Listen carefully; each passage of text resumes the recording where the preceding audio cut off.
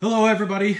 I've got uh, four different Ford 302 blocks laying here and we'll talk about the differences of these blocks to some degree here but there are differences between these blocks and they're not all the same. So from about 1985 to 1998 most everybody here lately will have this hydraulic roller 302 block and it'll be drilled for a hydraulic spider right there in the middle of the valley that you can see right here.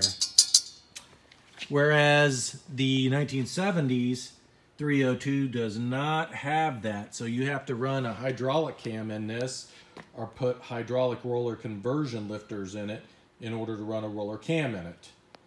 You can see the main caps are pretty much the same between the 1970s 302 and the 19 late 80s and all the way through the 2000s or, or excuse me the late 1990s version right there the same main caps. One of the rarer blocks that you don't see often is the Mexican block right here. It's going to have a casting right here and a casting right here that neither of the other two blocks have and the main caps are larger. These are more like the High Performance 289 main caps that we're looking at right here.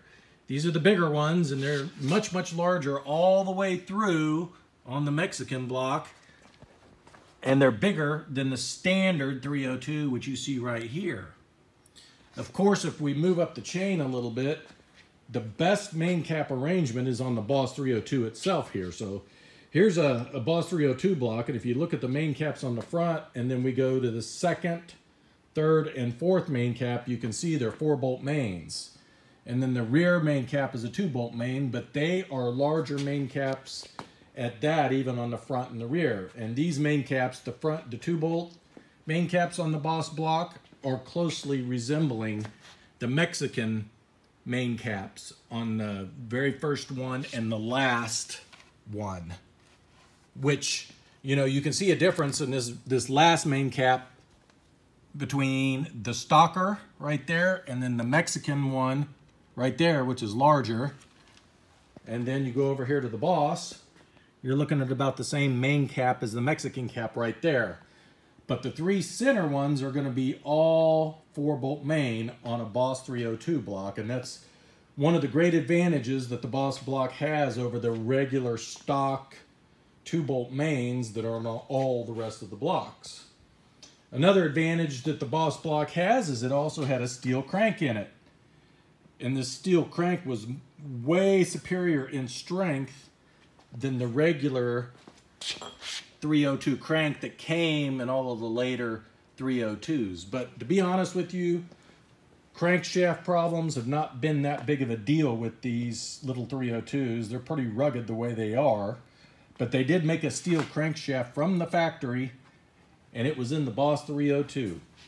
Well, uh, everybody, that's pretty much what I know about the differences in these blocks. I can tell you that the uh, Mexican 302 also has in the valley of it, it says Hencho in Mexico, made in Mexico, right there printed in the lifter valley of that block.